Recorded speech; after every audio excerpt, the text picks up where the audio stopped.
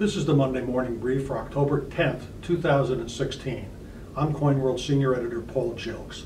If you've thought about writing a book about a s- specific area of numismatics, it's possible that the Central States Numismatic Society can financially help with its research or publication. Grants to assist the publication of new references in four different areas of collecting have recently been awarded the authors under the Central States Author Grants Program.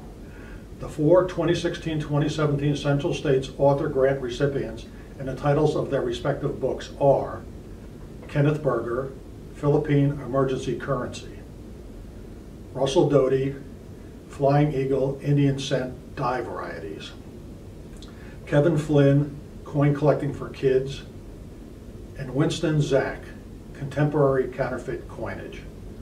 According to Ray Lockwood, Central States Education Director and past president, the first grants under the Central States Author Grants Program were made in 2011 and have been awarded annually since. Grants may not exceed $5,000. The amount budgeted for the grants ranges from $10,000 to $40,000 each year. Lockwood said grant applications are due August 31st each year and are reviewed by the Central States Education Committee. The committee then recommends applications to be funded to the Central States Board that, in turn, approves the grants on or about October 1st. Since the 2011 establishment of the Central States Author Grants Program, 34 grants have been awarded. Some authors have been recipients of grants more than once.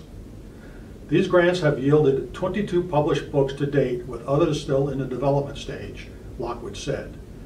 Three grants were returned by authors who could not finish their work in a timely manner or decided against trying to research and write a book.